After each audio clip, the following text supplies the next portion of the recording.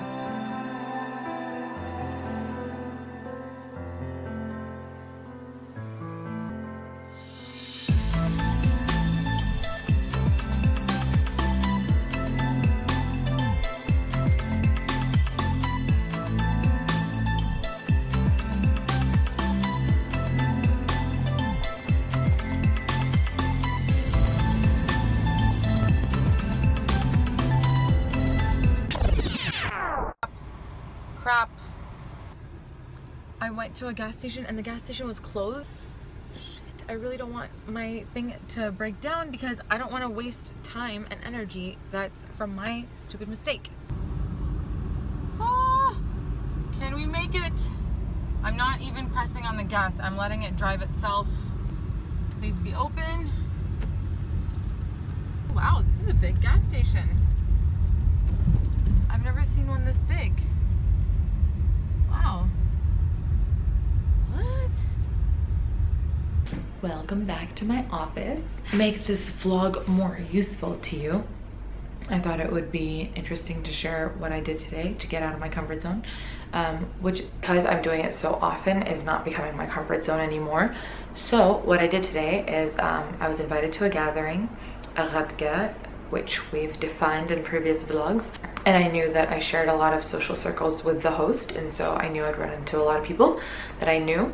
But um, I told myself that I wanted to meet new people today and I wanted to, you know, um, socialize and really get to know um, other people rather than just do rounds and um, get updated on the people I already know. While I still wanted to do that, um, I felt like, I don't know, I wanted to switch it up a little bit and make it more interesting.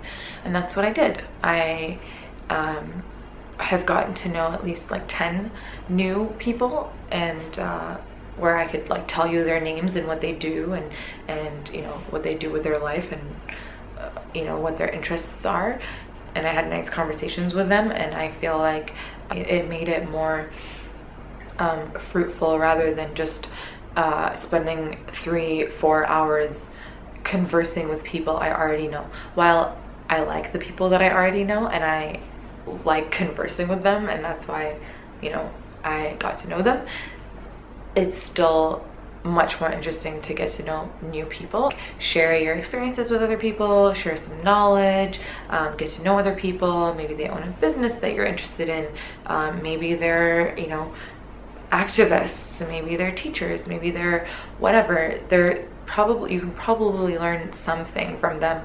And if there's nothing you can learn from them at least you can learn what you don't want from them i guess. And so um, that's just a life tip that I wanted to add in this video um, just because I noticed that a lot of people like kind of revert to their own comfort zone. They're just like oh I'll just stick with the people that I know and you know I'll just you know kind of like beeline to um, uh, my friends from college or my friends from whatever.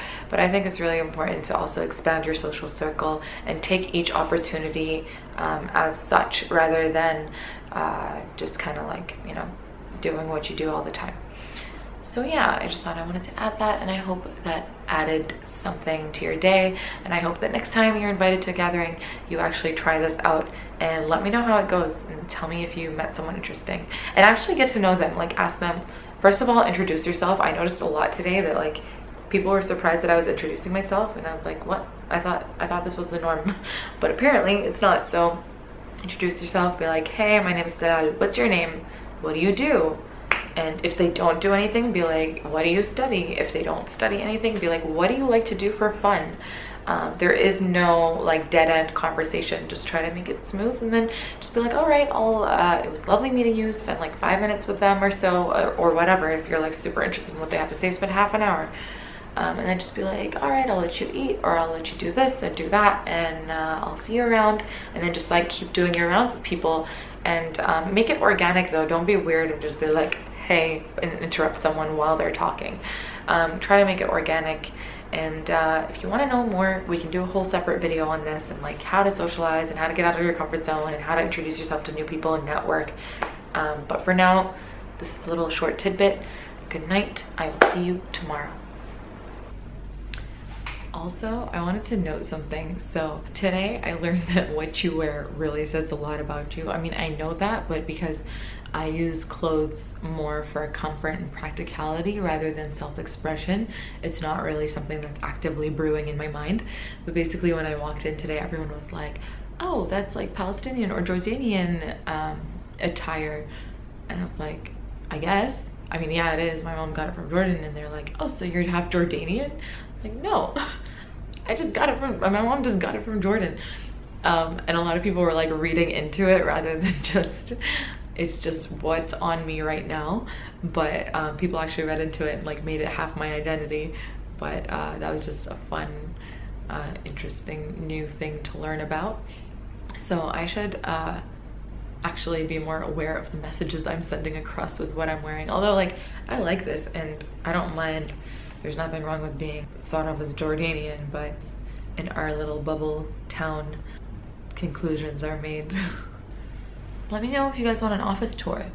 I really like my office, but maybe if you guys let me do an office tour, I'll actually tidy up the other half of it that's behind the scenes that you cannot see. Because it's always like, I love my office. It's full of my personality and me. It is like my little cave. But um, there's always like a corner that's like the trash corner where it has like all the crap that I pull out of my car that I leave pending for later sorting that just never really happens. So let me know if you guys want an office tour and I'll make it happen.